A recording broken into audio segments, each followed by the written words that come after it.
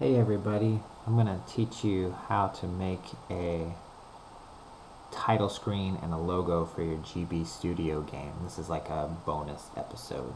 So let's go over here and check out the screen. If you don't have uh, paint.net yet, go back to the previous tutorial and see how to set that up for making pixel art. So we've got a new file here and turn off your anti-aliasing um, so you've got it set up. If you haven't set up your GB Studio palette you should do that too. We're going to resize the image so that it's the size of the Game Boy screen. So we're going to do 160 by 144 okay? So 160 by 144 pixels. And then we can zoom in a little bit this is our background so we'll go ahead and use our paint bucket tool and we'll paint that all black. We can create a new layer and we can click this little wrench here and rename that layer text. If we wanted to go back and edit that layer and not the background, um, we could do that. We don't have to do that really for this tutorial, but it's something that you might want to think about in the future. So we'll click text and we'll pick a color and then we'll go ahead and pick a font we're gonna click on this and it's gonna say Mr. Moose Awesome Games if you want to make that centered then you can drag this around okay so our logo will be Mr. Moose Awesome Games. I bet you could be more awesome if you spent a little more time than I did.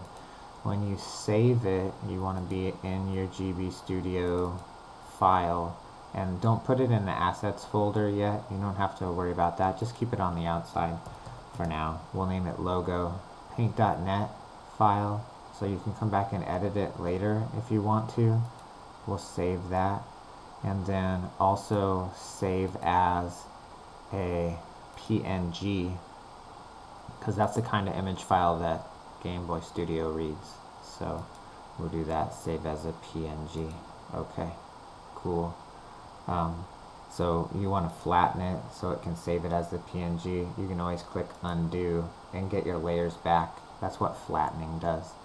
So then we want to go back to the text layer and we want to get rid of this text and we'll click delete and then we're going to save this as a new file called title screen okay you can save it at whatever you want but that's the place to start. If you want to get some different fonts for your computer you can always uh, just google fonts. Uh, if you Google Pixel fonts, oh, there we go, Pixel fonts, then you can look up some of these different places and find some Pixel fonts. They'll get you some things. You probably want to look for something that's 100% free. That way, if you sell your game in the future when you're super famous, you don't have to worry about that unless you find a font you want to pay somebody to use.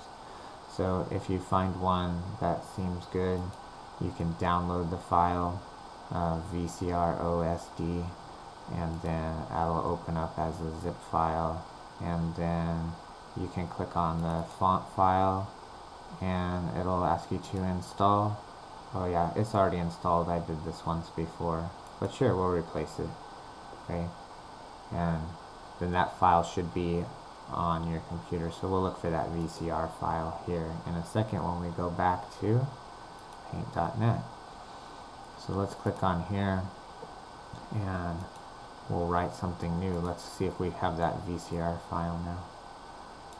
So down here and let's write awesome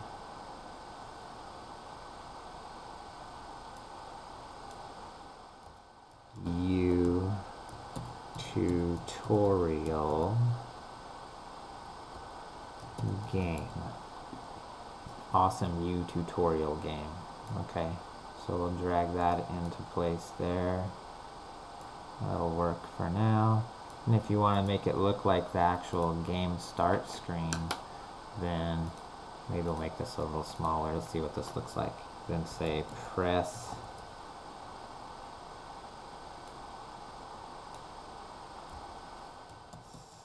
start. Cool. Alright. Then we can click out of there. So if you don't really like how the start didn't line up where it wanted, where it didn't quite line up with the other ones, you can do Control X and Control V. So I cut it and then I pasted it back, but that way I can move it around wherever I want to. So I can use my arrow keys or my mouse to get that just lined up the way I want it, okay?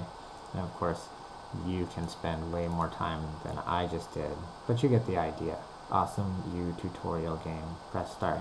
That's basically what I wanted to show you for this, um, and so next time we'll get this into our Game Boy file. So save it as a PDN, and then save it again as a PNG so you have all of those files ready for you when you get ready to place it into your backgrounds folder.